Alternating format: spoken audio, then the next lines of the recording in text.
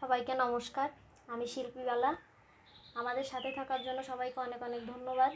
এখনও যারা আমাদের চ্যানেলটি সাবস্ক্রাইব করেন নাই, অবশ্যই আমাদের চ্যানেলটি সাবস্ক্রাইব করে আমাদের সাথে থাকবেন।